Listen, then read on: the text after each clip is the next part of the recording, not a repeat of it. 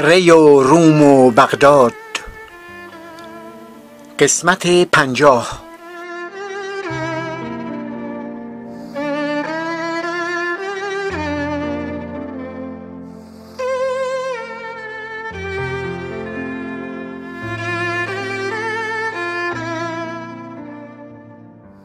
باغبان به فرزندش گفت درخت گلابی چون میوه دارد و پربار افتاده و فروتن است.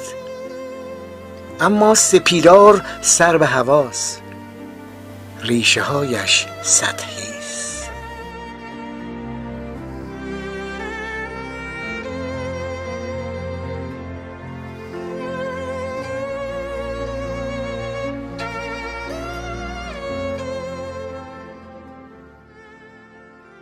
به نام و نیرو و یاری آفریدگار اورمزد و امشاس پندان سروران خوب نیکوکار و همه ایزدان مینو.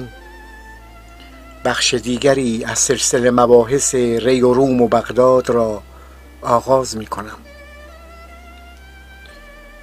خانم ها و آقایان محترم دوستان دانشور و فرهنگ ورز از راه دور و با قلبی نزدیک به شما سلام می کنم این مطلب به یک موضوع واحد نمی پردازد مثل خیالات آدمی که ری و روم و بغداد را در می نوردد و دم به دم حالی به حالی می شود در هم و بر هم پیچیده از هم پاشیده و همراه با استعاره است. مطالب پراکنده است و به هم ربط ندارد. تنها ممکن است یادآور این یا اون خاطره و سرگذشت باشد. همین و بس.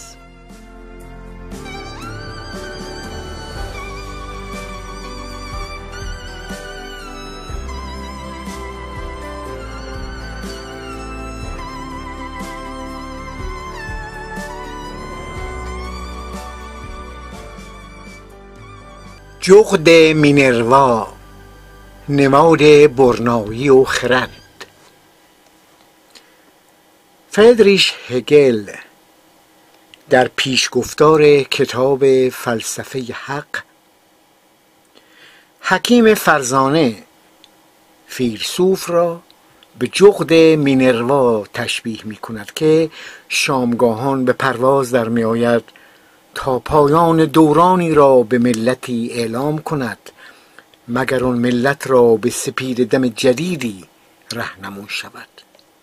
انگاری فلسفه نیز هنگامی سر بر می آورد که زندگی دوران شگیری خود را گذرانده و آرام آرام گرد و قبار خاکستری زمان بر روی آن می نشیند.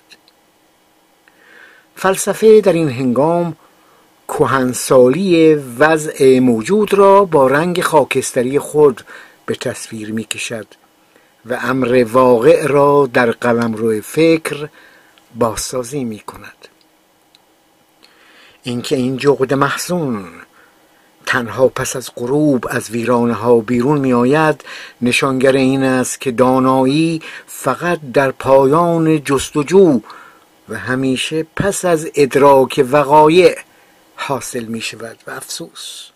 افسوس که افسون مرتجعین پایان ندارد و آموختن از خطاها ظرفیت های تازه به خطا می دهد.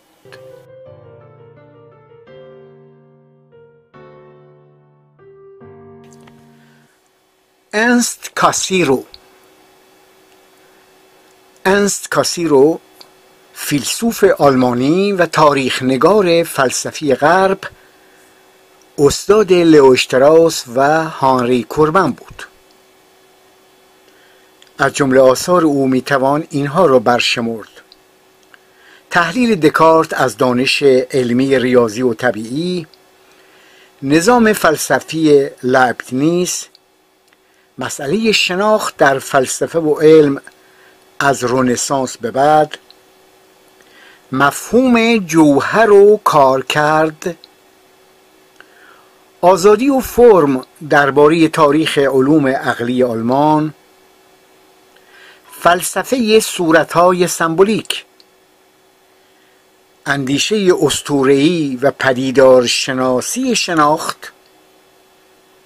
رونسانس افلاتونی در انگلستان.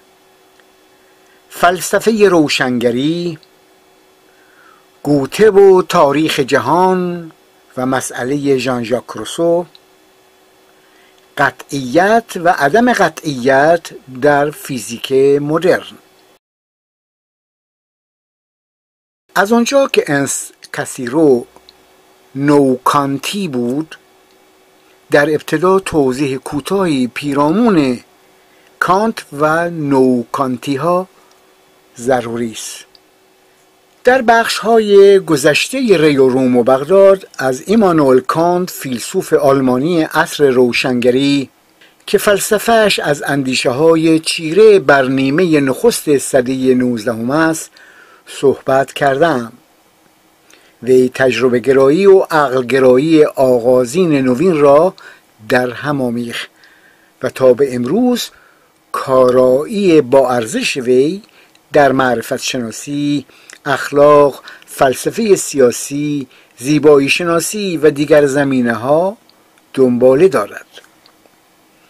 اندیشه بنیادین فلسفه نقدی کانت به ویژه در نقدهای سگانه او نقد عقل محض نقد عقل عملی و نقد قوه داوری خدایینی انسان است.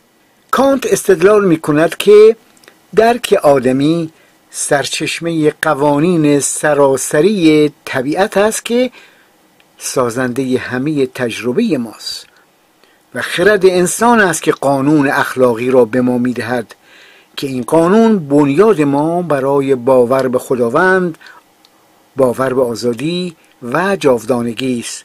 پس شناخت علمی اخلاق و باور دینی در برابر هم سازگار و باور پذیرند بسیاری از جنبش های فلسفی و تقریبا تمام اونهایی که در آلمان بودند یا با کانت آغاز شدند و یا در واکنش به او پدید آمدند.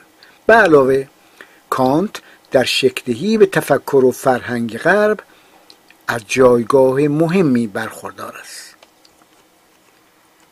و اما نوکانتی نوکانتی نوکانت گرایی نوکانتیسم اشاره به گونه ای از احیای فلسفه بر پایه خطوطی است که به دست کانت در قرن هجدهم پایگذاری شده بود و به دنبال شناخت ارزشها نیکی و زیبایی است.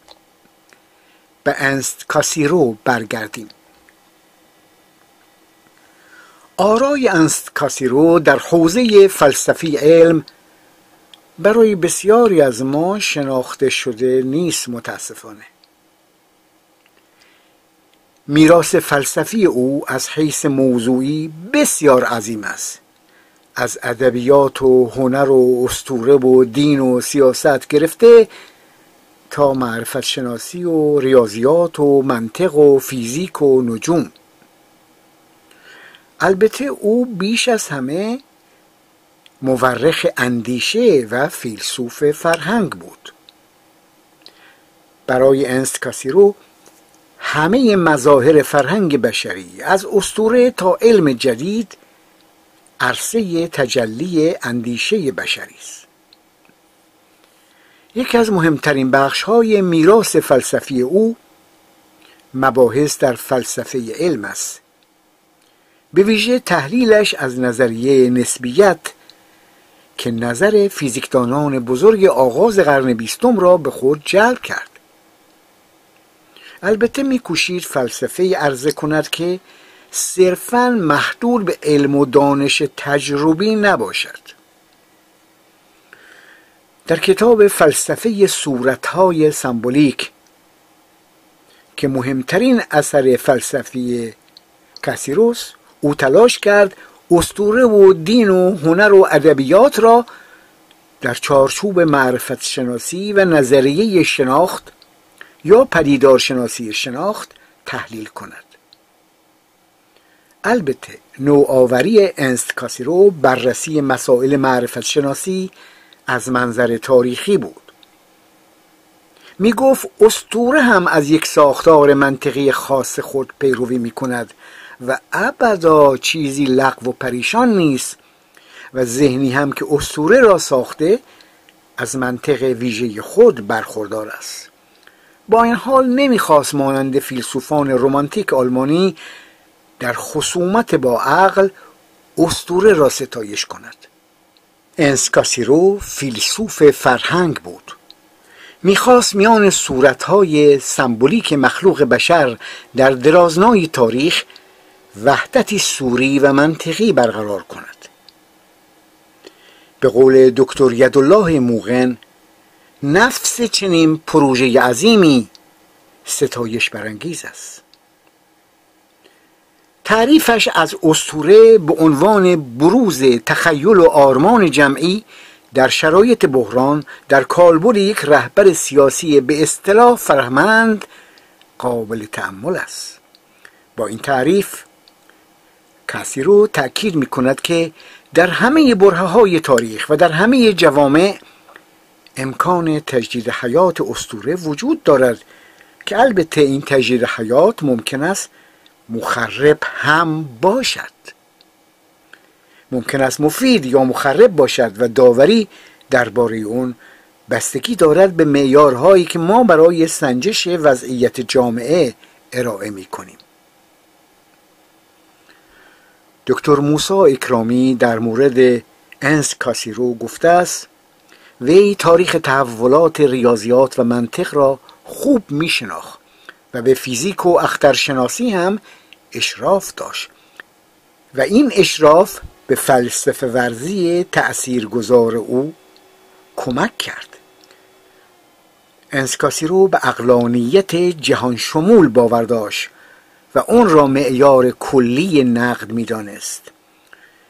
اضافه کنم که هنر و ادبیات در نوشته های انسکاسی رو اعتباری به سزا داشت. در فلسفه روشنگری مفصل ترین فصل کتاب را به مسائل اساسی زیبایی شناسی اختصاص داده است.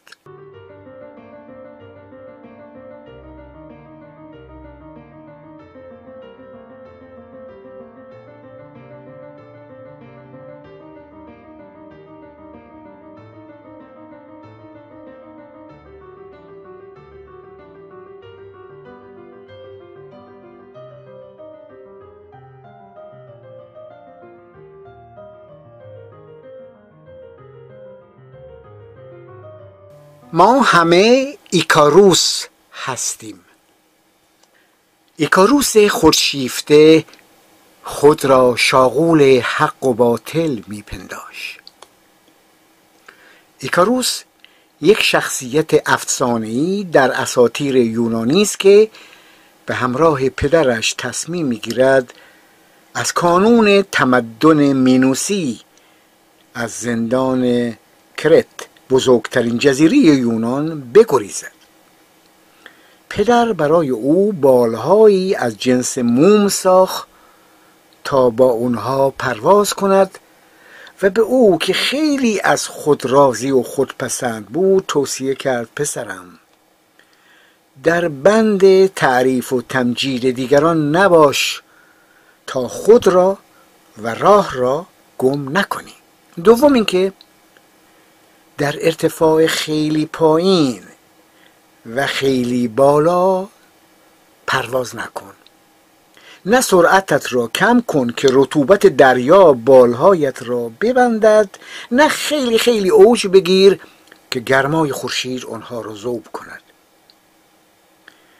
ایکاروس خودشیفته که خود را شاغول حق و باطل میپنداش با های و هوی دیگران هوا برش داشت و بی توجه به حرف پدر بر سرعت خود افزود و افزود و افزود و پدر را هم متهم کرد که اهل خطر کردن نیست و بهتر بود در همون زندان مینوس در جزیره کرت میماند.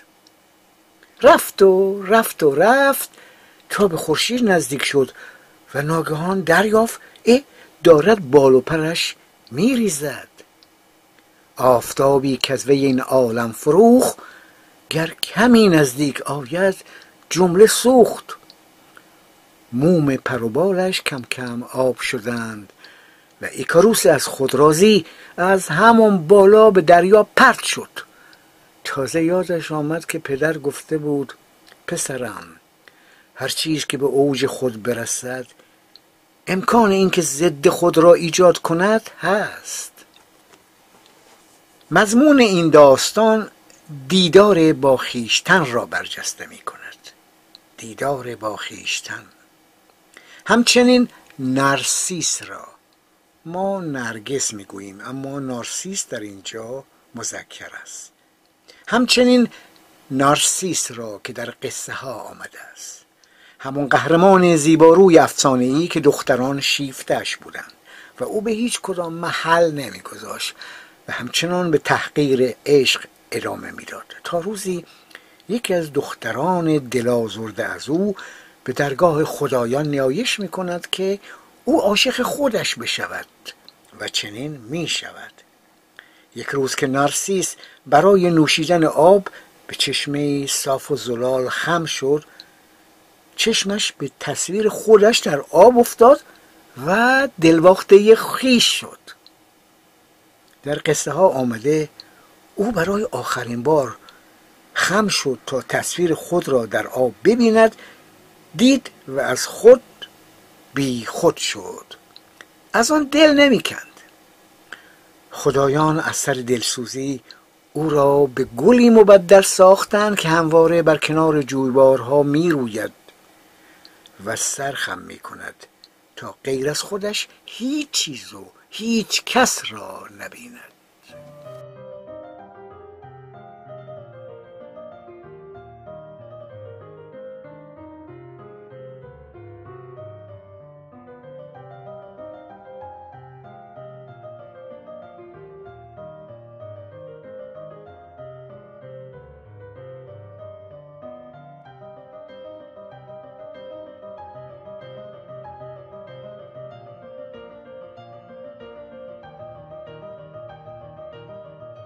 دکتر سید جواد تبا تبایی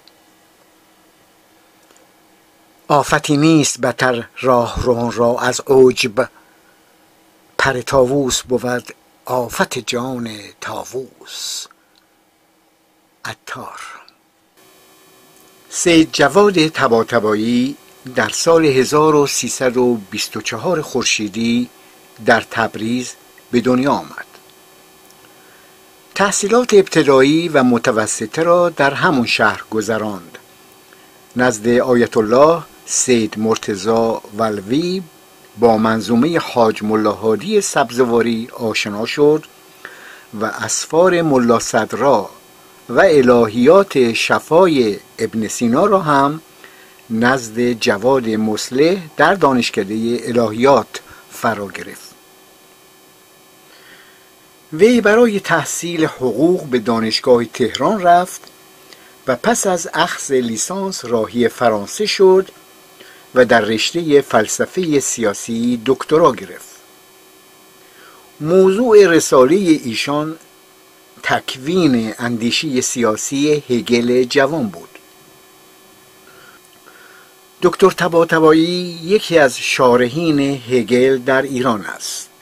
او همچنین مقوله ایران شهر را که از گذشته های دور پیش و بعد از نامی تنسر به گشنسب از آن صحبت می‌شد برجسته کرد. ایشان به تأمل فلسفی درباره تاریخ ایران می‌پردازد.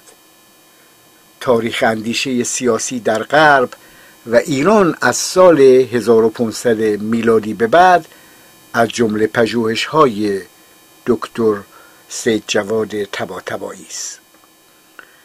وی معتقد است با چیرگی غزنویان و سپس سلجوقیان بر ایران و در نهایت حمله مغول دوران زوال اندیشه سیاسی و انحطاط ایران آغاز می شود تا به جنبش مشروطه می رسیم که از جمله پیامدهایش تدوین نظام حقوقی جدید بر پایه قانون شرع بود.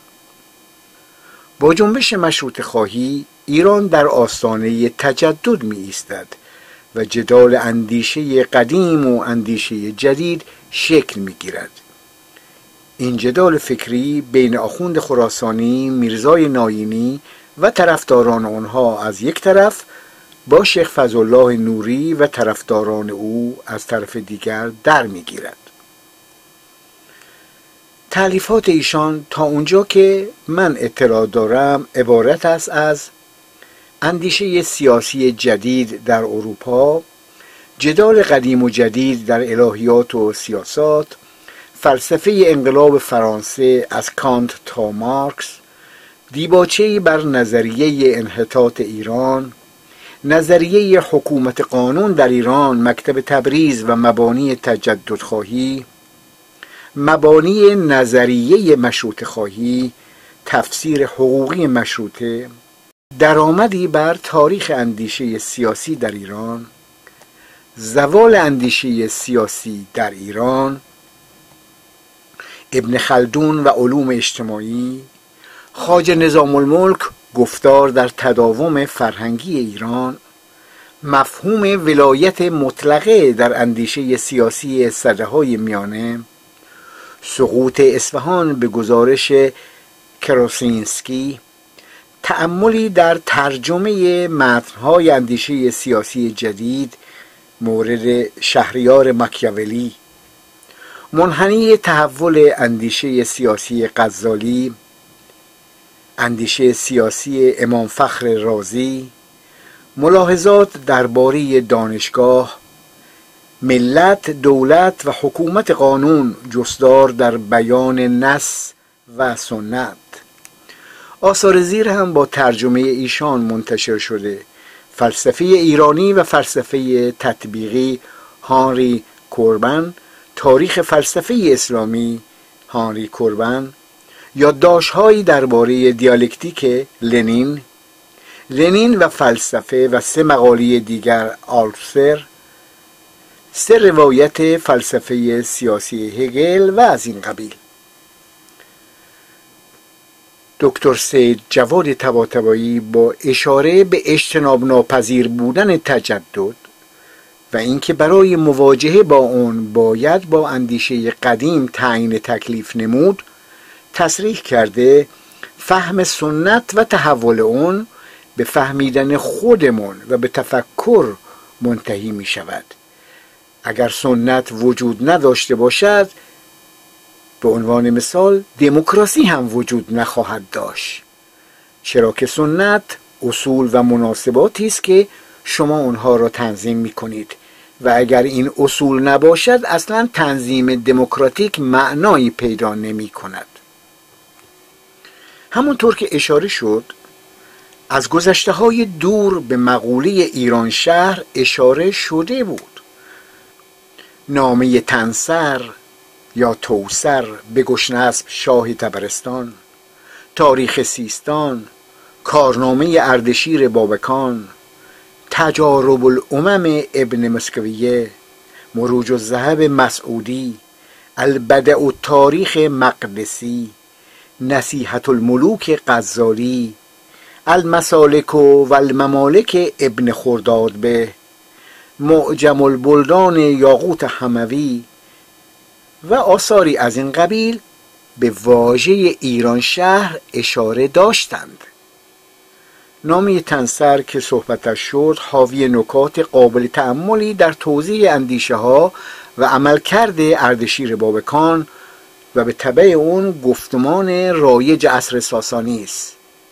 در پی آن است که از زاویه دید موبل زرتشتی آرمان ایران شهری را به لحاظ وحدت سیاسی و دینی تضمین کند. ساسانیان اولین سلسله در ایران بودند که ایده ایران شهر را که بنمایه اندیشه اش بر خرد استوار بود به عنوان یک ایده سیاسی و هویت فرهنگی مطرح ساختند. در مجموعه الاسئلت و الاجوبه تعلیف دکتر سید حسین نصر خواندم که نخستین فیلسوف جهان اسلام شخصی بود به نام ایران شهری که البته از او جز نام باقی نمانده است. همینجا بگویم که واژه ایران در اوستا به عنوان نام سرزمین اسطوره‌ای آریاییان به کار می‌رفت. در دوران اردشیر بابکان عنوان ایران بر جغرافیای زیر حاکمیت ساسانیان اطلاق شد. اردشیر میکوشید خود را مرتبط با خداوند و دارنده فره ایزدی بنمایاند. وی برای یادبود پیروزیهایش اقدام به کندکاری سنگ نگاره در فیروزآباد و نقش رستم نمود. در سنگ نگاری وی در نقش رستم اردشیر و اهورمزدا سوار بر اسب در برابر یکدیگرند و جسد اردوان و اهریمن زیر سم اسبان اردشیر و اهورمزدا تصویر شده است. از این نقش چنین برمیآید که اردشیر میپنداشته یا می‌خواسته دیگران بپندارند که حاکمیت وی بر سرزمینی که در کتیبه ها ایران شهر خوانده می شده از سوی اهورمزدا مقرر شده و خلاصه او منصوب پروردگار است.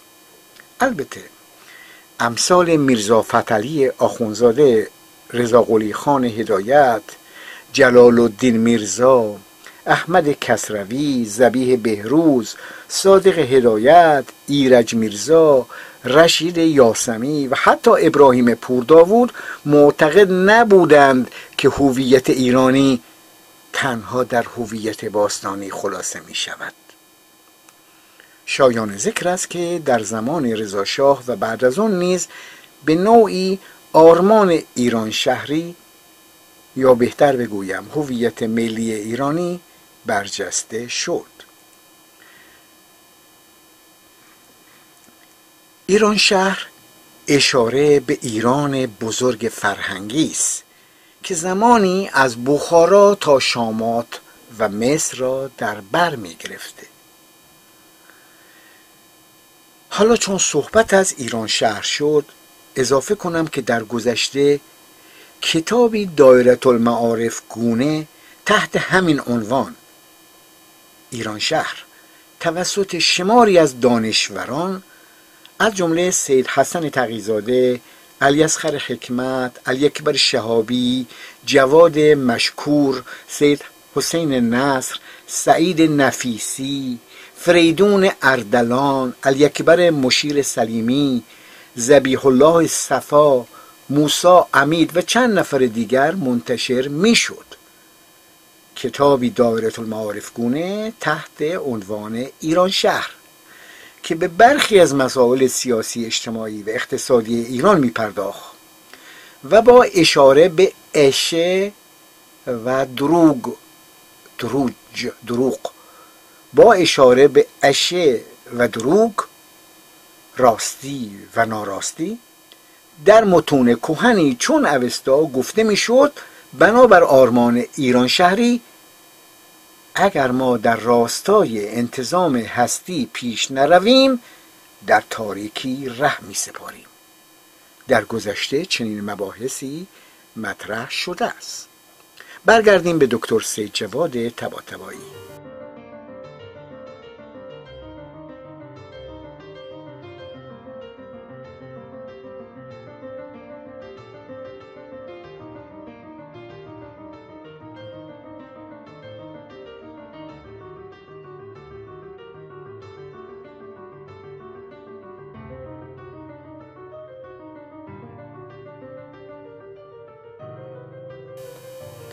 از نظر ایشان ایران شهری یعنی تداوم اندیشه ایرانی در دوره اسلامی. وی گفته از حدود سی سال پیش دریافتم که بحرانهایی در کشور در حال تعمیق یافتن است و برای اون که این بحرانها شناسایی بشوند باید در ابتدا ایران را شناخت. جدا از فارابی که دستگاهی منظم از مفاهیم منسجم عرضه کرده و در مضمون اون مفاهیم شعون و احکام قدرت سیاسی و مناسبات مدنی توضیح داده شده است. جدا از فارابی در مورد خاج نظام الملک و سیاست نامه او که از دید من خلاصه ای از اندیشه ایران شهری است تأمل کردم. و متوجه شدم خاج نظام الملک با تفکیک نظامنامه شریعت از نظامنامه سیاست طریق ایجاد دولت بر اساس نظامنامه های سیاسی را تدوین کرده است. اینا که گفتم نظر آقای تبا تبایی بود. من اضافه کنم که خود خاج نظام الملک در مورد کتابش که اسم دقیق اون این است سیر الملوک یا سیاستنامه در مورد کتابش گفته که کتاب من هم پند است هم حکمت هم مثل هم تفسیر قرآن هم قصص حضرت محمد و هم قصص انبیا و هم سیر اولیا و هم حکایات پادشاهان عادل. ضمنا عنوان یکی از فصول کتاب که جای تعمل دارد این است. اندر پژوهش کردن و بررسیدن کار دین و شریعت. بگذاریم که در فصول پنجاهگانه کتاب خاج نظام الملک حتی یک بار واژه ایران نیامده است. از نظر آقای تباتبایی ایران برخلاف سایر کشورهایی که به جهان اسلام پیوستند نظام اندیشه خود را حفظ کرده. نظام اندیشه خود را حفظ کرد و به دوره بعد از اسلام انتقال داد.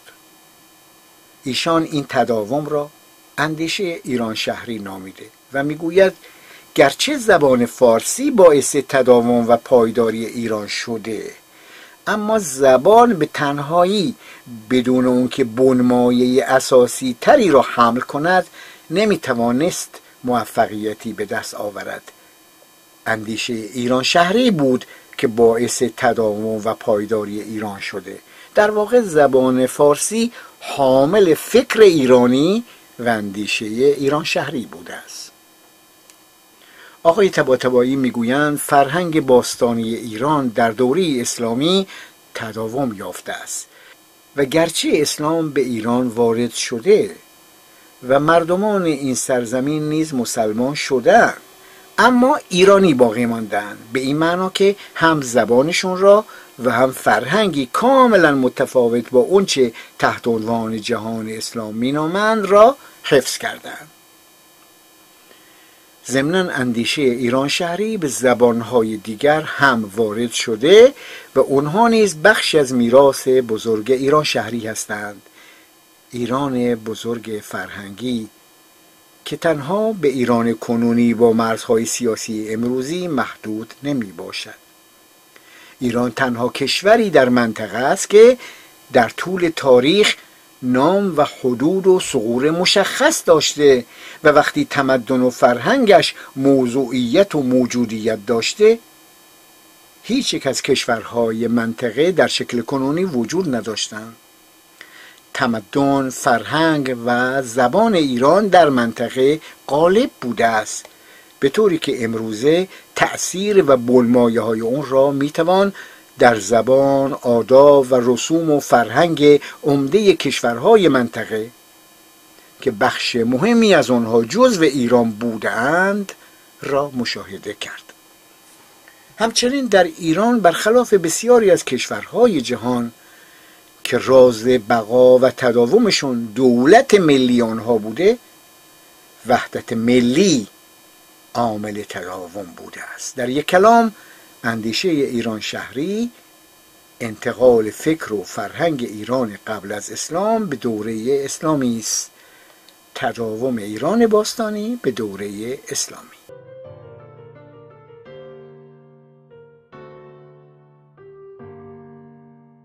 اگر به اندرزنامه های پهلوی اندرز آذر پادمهر اسپندان اندرز اوشنر داناک اندرز بختافرید اندرز بزرگ مهر اندرز آذر فرنبق اندرز دانایی به مزدیسنان اندرز خسرو قبادان و از این قبیل توجه بکنیم.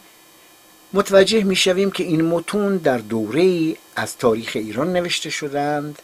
که پایه های شاهنشاهی هخامنشی ریخته شده و وحدت ملی ایران فراهم آمده است. خب می‌دانیم که با حجوم اسکندر رخنه در ارکان این وحدت پدید آمد و اندیشه و عمل ایرانی با عنصر یونانی در هم آمیخت. با زایش ساسانیان مسئله وحدت سرزمینی و دولت متمرکز که در پرتوی ایده تک خدایی از بین رفته بود دوباره احیا شد. اردشیر بابکان بنیانگذار شاهنشاهی ساسانی ملوک و توایفی را از میان برداشت و زمینه را به گونه فراهم نمود که از طریق جانشینانش وحدت ملی دوباره برقرار شد.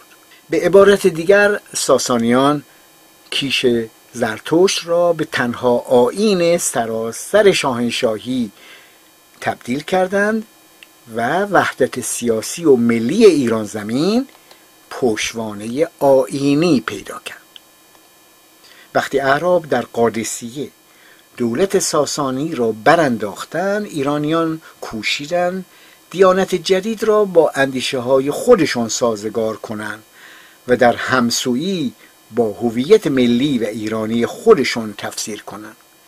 شماری از فرهیختگان ایرانی زبان عربی یاد گرفتند و حتی در پاره موارد از نصر نویسان جدی عرب شدند. جدا از عرصه علمی و ادبی در قلمرو سیاسی نیز بعضی از خاندانهای ایرانی تبار در برخی از ایالتهای ایران به دولتهای مستقل تبدیل شدند. البته دولت خاندانهای ایرانی نتوانست وحدت سرزمینی را ممکن سازد و با حجوم ترکان قسمتی از ایران به تصرف غزنویان درآمد. بعد با برآمدن سلجوقیان که میکوشیدند برای اداره امور دست به دامان برخی از فرهیختگان ایرانی شوند زمینه به گونه فراهم شد تا امثال خاج نظام الملک در رأس امور زمینه وحدت سرزمین ایران را فراهم کنند. از همین رو خاج نظام الملک در عرصه نظر به تدوین سیاستنامه همون سیر الملوک اقدام کرد. تا این رساله بتواند پشوانه برای تمرکز سیاسی و وحدت ملی قرار گیرد. البته پرسیدنی است سیر الملوک خاج نظام الملک چه ربطی به اندیشه ایران شهری دارد؟ به خصوص که خود وی معتقد به کلام اشعری و فقه شافعی است و هیچ نسبتی با اندیشه باستانی ندارد و تنها اشاراتی مختصر در فصل هشتم سیاستنامه به فره ایزدی دارد. بر اساس این روایت ایران پس از حجوم عرب توانست در درون کلیت خلافت اسلامی با تمایز و خودویژگی عمل کند. این تمایز را از جنبه نظری در سیاستنامه که آبشخور اصلی اون اندرزنامه های دوره ساسانی است می‌توان دید.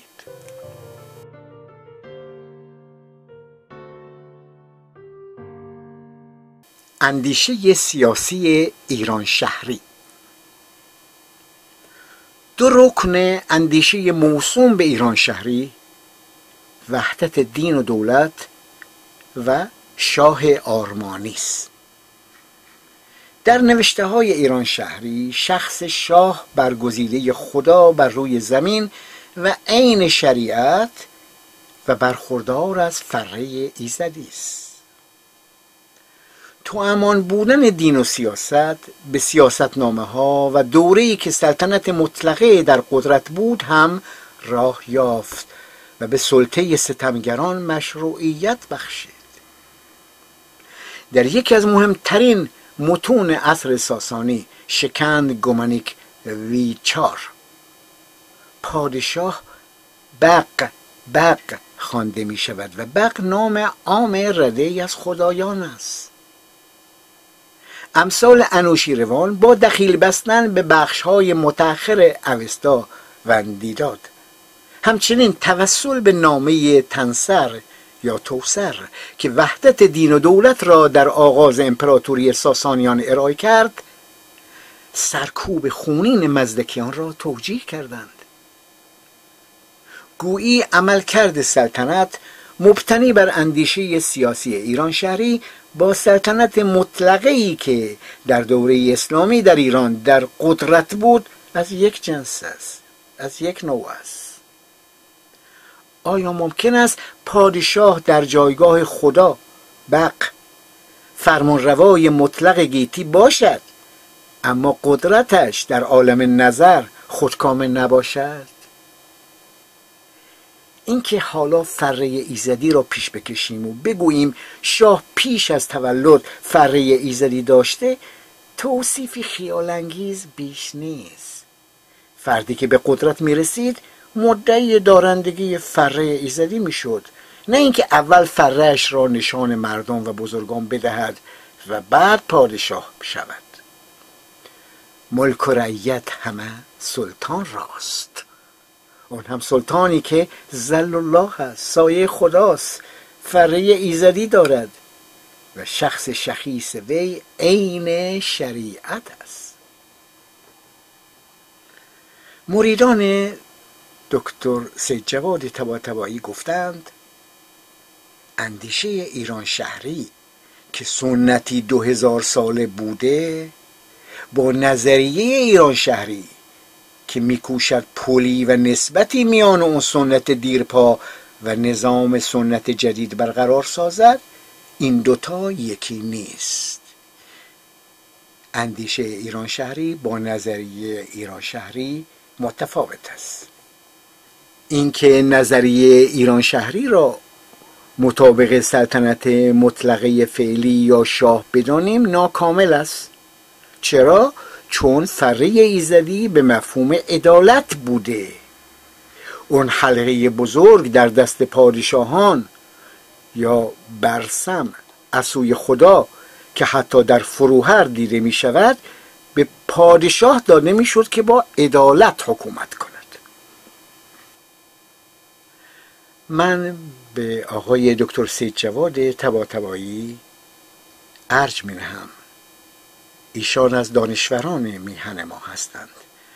اما اثبات خیش با نفی دیگران را در نمییابم. مثال بزنم. محمد آب جابری استاد فلسفه دانشکده ادبیات در رباط از روشنفکران به نام معاصر جهان عرب کتابی دارد کتابی چهار جلدی به نام نقد عقل عربی. وی بر آن است که زمینه را برای قرائتی علمی و آگاهانه از میراث گذشتگان مهیا کند و عقل عربی را نتیجه فرهنگی معرفی کند که بر سه نظام معرفتی استوار است. نظام زبانی عربی یا بیان نظام قنوسی ایرانی هرمسی یا عرفان و نظام اقلانی یونانی یا برهان.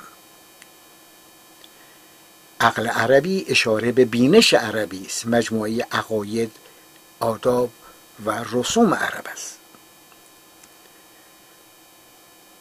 استاد عزیز دکتر سید جواد تباتبایی که متاسفانه در شمار کسانی است که با نفی دیگران خود را اثبات می کند و مرید مریدهای خیش است در یک سخنرانی که خودم گوش کردم با اشاره به کتاب پرارج نقد عقل عربی فرمودند عرب چیه که عقلش چی باشه؟ و خندیدن متاسفانه گفتمان ایشان گفتمان ترد است. یک بار با تکبر و تبختر که در شعن یک دانشور محترم نیست به یکی از منتقدین خیش فرمود من هگل از حفظم جلوی من نمیشه معلق زد. همانطور که دیگران هم گفتند بخشی از حرفهای ایشان را پیشتر مورخ آلمانی راینهارد کوزلک گفته است. اما آقای تباتبایی به او و منابع خیش اشاره نمی کند.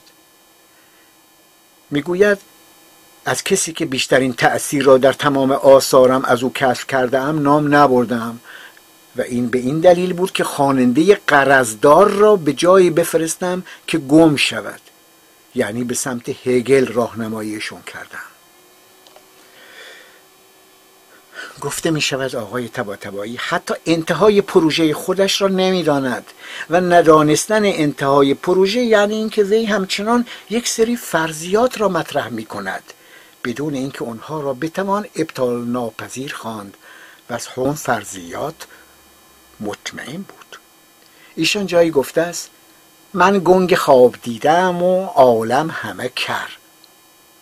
آیا کسی که در خصوص دیگران چنین موضع می‌گیرد و پروژه خودش را هم کامل نمی‌داند خوب از چنین توصیفی از خودش داشته باشد؟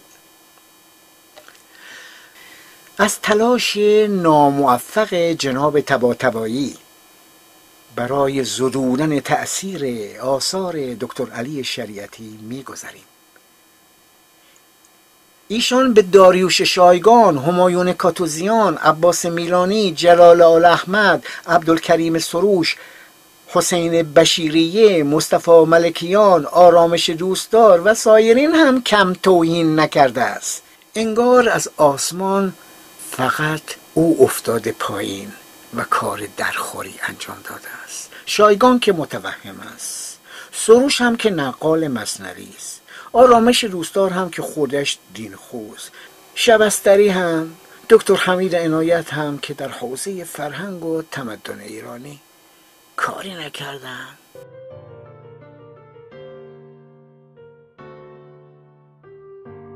این که به سبک مریدان دکتر تباتبایی مثال ولتر و روسو را بزنیم که ولتر به روسو تاخته او را سگ دیوژن نامیده و شباهتش را به یک انسان مانند شباهت یک میمون به انسان پنداشته. برفرض که اصلا چنین قیاس های روا باشد. قیاس دکتر تباتبایی با ولتر با روسو. به فرض که چنین قیاس هایی اصلا روا باشد که نیست اینها زشگویی و سقوط گفتاره را توجیه نمی کند دکتر سید جواد تباتبایی روشن فکری گذشته و حال ایرانی را متهم به ایدئولوژیک بودن و دستاندازی به قدرت کرده است و تنها خود را از دایره اتهام بیرون می‌گذارد. گویی هیچ جایگاهی ایشان در تقویت قدرت سیاسی حاکم نداشته و ندارد. آقای تباتبایی مشخص نمی کند که خود چگونه بیرون از قدرت ایستاده در حالی که همزمان درون وضعیت سیاسی ایران است. چرا شمشیرش را علیه خیش به کار نمی‌گیرد که در اوج خروش مردم ستم دیده ایران در سال 96 زیر عکس خامنه ای از روحانی جایزه می‌گیرد. در حالی که زخم اسیر کشی سال 67 بعد از چند دهه و تا همیشه تازه است چرا از کسی که عادت دارد با نفی دیگران خود را اثبات کند سریح و شفاف کلمه ای در زم مرتجعین و قاتلین ما نخوانده ایم و نشنیده ایم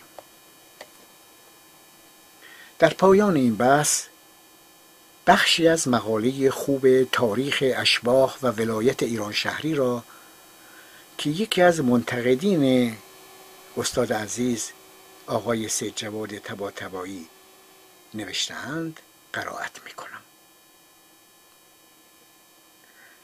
در آثار دکتر سید جواد تباتبایی به ندرت می‌توان اشاره‌ای به جنبش اسماعیلیان، خرمدینان، جنبش بابک و قرمتیان یافت.